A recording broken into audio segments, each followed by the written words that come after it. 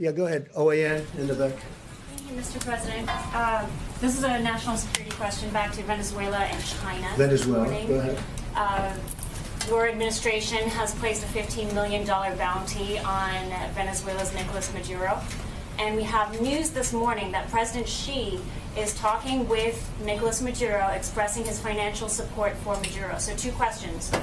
One, have you discussed with Dr. Xi, or President Xi, your, the U.S. policy on Maduro? And two, are, what is, how does this affect uh, U.S. policy with regards Yeah. to its war Uh, on anti We will not be happy if that takes place. I have not spoken to President Xi of China about Venezuela, about that aspect of Venezuela.